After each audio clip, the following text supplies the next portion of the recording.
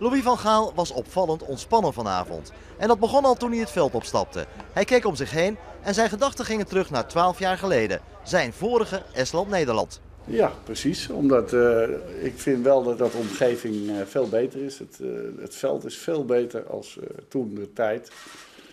Dus er is geen enkel excuus. Dat inspireerde hem blijkbaar tot iets wat hij nooit doet. Net als de rest van zijn spelers begon de bondscoach de training met een warming-up. En dat zag er zo uit. Alles bij jou heeft altijd een reden. Waarom was dat? Nou, ik had er zin in.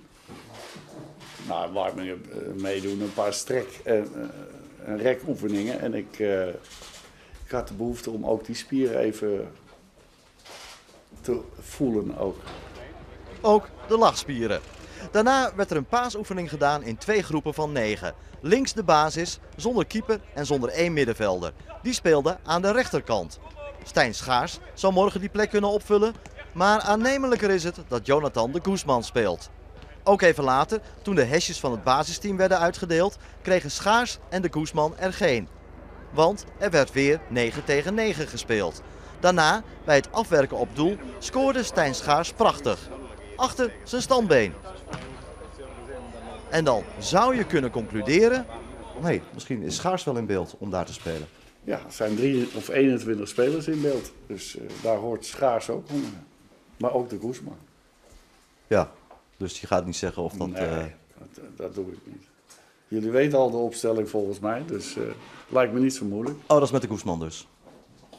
Als jij dat zegt. Er werden trouwens meer mooie goals gemaakt. Deze van Daryl Janmaat. En deze van Adam Maher. En deze van Dirk Kuyt. En op het eind van de training was er ook nog een ontmoeting met een oude bekende, Jari Liedmanen. De Fin had de hele training bekeken en praatte na afloop met iedereen.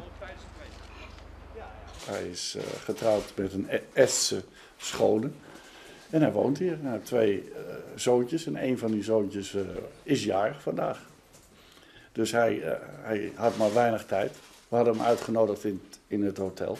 Ook om wat te doen? Ik bedoel, uh, om jouw filosofie uit te dragen of om een praatje te houden of nee, zoiets dergelijks? Gewoon, gewoon om elkaar weer, weer eens te zien en te ontmoeten.